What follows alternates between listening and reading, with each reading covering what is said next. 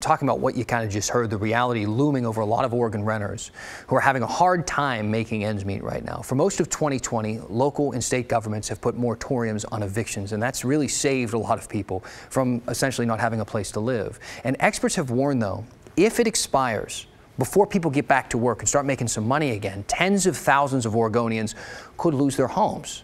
Here's what one advocate told our Maggie Vespa this week about the statistics they're seeing right here in Oregon. And the Stout research is the one that we tend to look to the most. They have been doing updates of their data every two weeks. And they say between, um, I believe it's 25,000 to 57,000 folks, households, may be at risk of eviction on January 1st. 57,000 households. 57,000. 25,000 on the low end. Like that's the that's the, the good-looking scenario. And they're unfathomable numbers. To put that into perspective, the federal the last federal count from January of 2019 showed nearly 16,000 people were homeless in Oregon. And, and we know what that situation has done to the state. So this new estimate estimate in the worst case scenario could more than quadruple that if it expires. And that's that's amazing to even think about. But again, that is a big that's a big if. And right now, we want to talk about the things that are being done to try and stop that from happening, at least in the short term. First, this morning, Multnomah County commissioners, they threw out a major lifeline for Portland renters. They extended the county's eviction moratorium. So Multnomah County renters now have until January of 2022 to pay back all of the rent that they owe. That's a full year.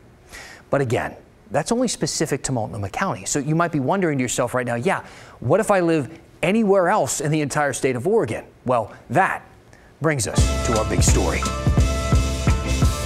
Because if you live anywhere outside of Multnomah County, well, that extension simply just does not apply to you. And Oregon's eviction moratorium will expire on January 1st. That's the plan, in which case you now have two hopes. One, next week's special session in Salem. Lawmakers could extend the statewide eviction moratorium by six months. That's the talk right now, which would take us to the middle of 2021. They're also considering paying landlords, who are also hurting badly during all of this, as much as 80 percent of what they are owed in unpaid rent.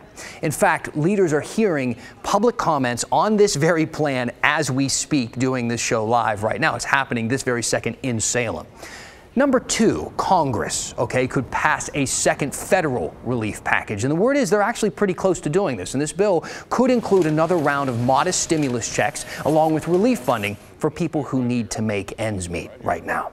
And while hope is a great thing, we all need hope, neither of these relief packages are a guarantee. Not yet, anyway. The special session could very well flop. We've seen that happen with Oregon legislative sessions in the past.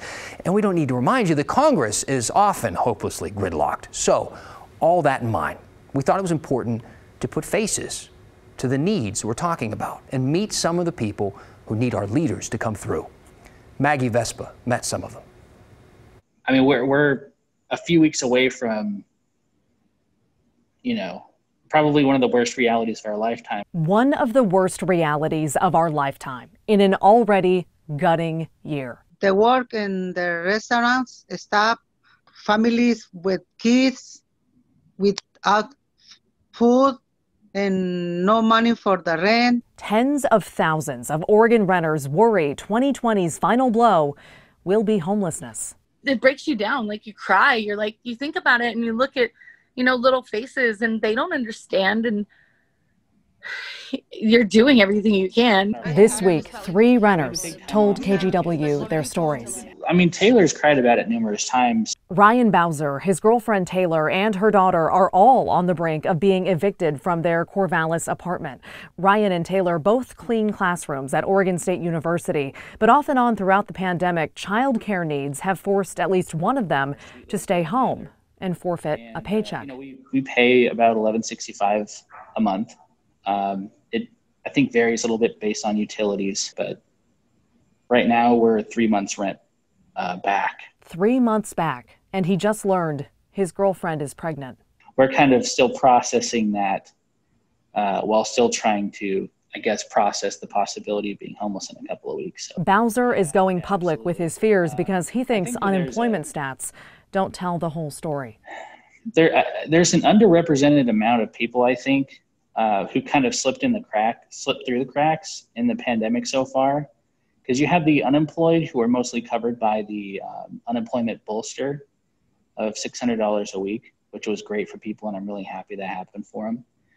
But then you had folks like me, and, and it's not obviously just me, who um, they, they didn't lose all of their income, but they lost enough of it to where making ends meet was was impossible. This community is a, is a, ¿cómo? Community pobre, comunidad pobre. Very low income.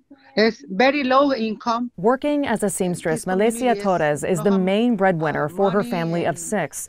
They live in a trailer in Northeast Portland's Cully neighborhood. For now, she has the most protection of the three renters we talked to by virtue of where she lives. Thursday morning, Multnomah County commissioners voted to extend their eviction moratorium, giving renters until January 2022 to catch up on back rent. Torres has been able to get some help covering rent through COVID relief funding dispensed by the county. But all this aid is shaky, and she argues Oregon's politicians don't realize people of color disproportionately live on the brink of homelessness. They need help us too. Uh, need see that my my my forma de vida, mi estilo de vida. My way of life. ¿Me lo puedes decir? My way of life. Ajá. In all, advocates estimate anywhere between 25,000 to nearly 57,000 Oregon households are at risk for eviction come January 1st. That is, unless state lawmakers extend Oregon's moratorium on evictions. It's on the table of bills to consider during the special session in Salem next week.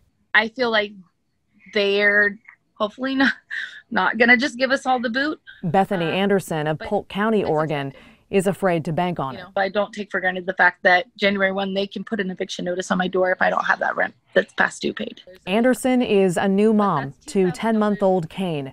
She lost a job in the beginning of the pandemic and hasn't been able to get work since. Her husband works in tech, and the family loves their two bedroom apartment. It is really nice. Um a thousand dollars a month. Um and then we're currently only behind four thousand. Like all three we talked to, Anderson knows she's one of many behind on rent. She actually considers her family lucky. There's there's people who are behind so much in rent that it's like you look at it and that's not even a mountain.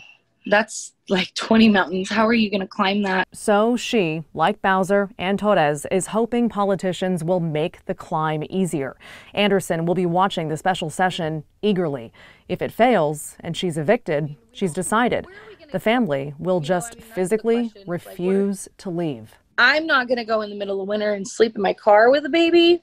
And I figure that if there's this many people that that are struggling and there's this many people that face this I don't feel like they're going to send that many sheriffs out to one by one put everybody out of their door. I mean, there's got to be human compassion somewhere because right now I don't know. It just you need something, and not a lot of us have money anymore. Okay, Maggie Vespa joining us now. Now, Maggie, before we get into the, the politics and the policies and all, all that stuff, let's talk a little bit about these renters who shared their stories with us because they were pretty personal. Can you explain a little bit how you got connected with them?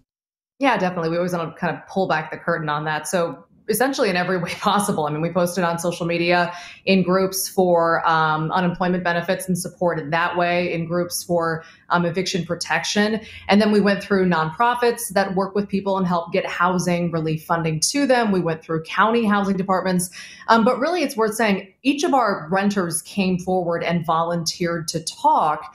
And a lot of them have thought about doing so because this special session is approaching and they and they want to get their stories heard and we should also point out they know this is not just an Oregon problem this is a national problem and one stat uh, estimates between 2.4 million and 5 million American households could be facing eviction next month as Wow. moratoriums like this run out across the country so this is huge Yeah, so um, so a very timely special session to, to discuss this, and you know we we spend a lot of time talking about renters, but this is also going to deal with landlords, and you know they're owed a lot of money right now, money they use to pay the mortgage or pay taxes or upkeep on the home, things like that. What what's the conversation going to be like uh, when it comes to landlords?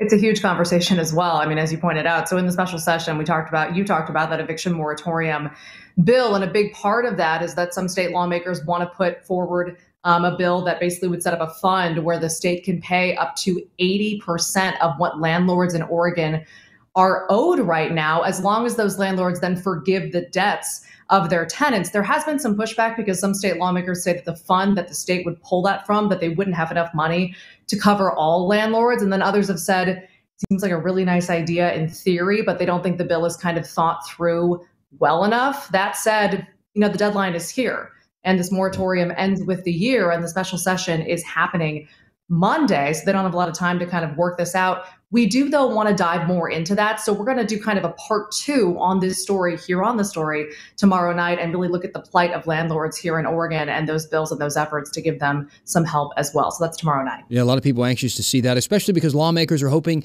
to complete this special session in just one day. So that's a lot of work to do exactly. in a short amount of time. All right, Maggie, thank you.